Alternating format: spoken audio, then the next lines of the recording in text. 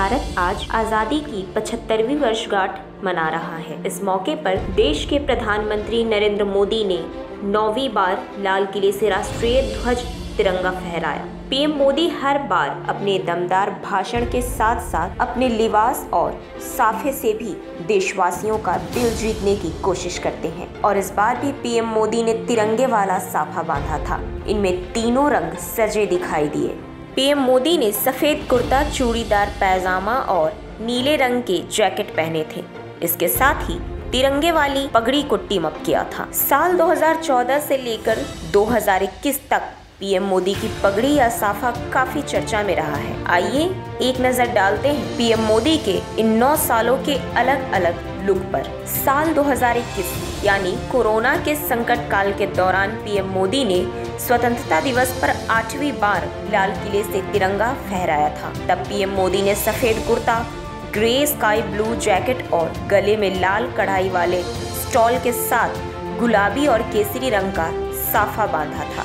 साल 2020 जी हाँ साल 2020 में पीएम मोदी ने स्वतंत्रता दिवस के मौके पर क्रीम कलर के ट्रेडिशनल कुर्ते पर संतरी और पीले रंग की पगड़ी बांधी थी। अब बात करें 2019 की तो स्वतंत्रता दिवस के ऐतिहासिक अवसर पर पीएम मोदी ने व्हाइट कुर्ता, गले में स्टॉल के साथ पीले रंग के बेस पर लाल हरी धारियों वाली पगड़ी राजस्थानी स्टाइल में बांधी थी।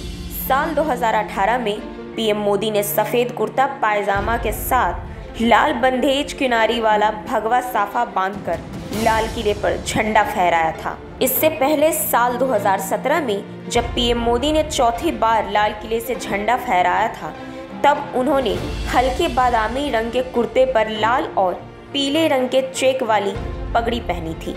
उस समय भी पीएम मोदी के लुक की काफ़ी प्रशंसा हुई थी।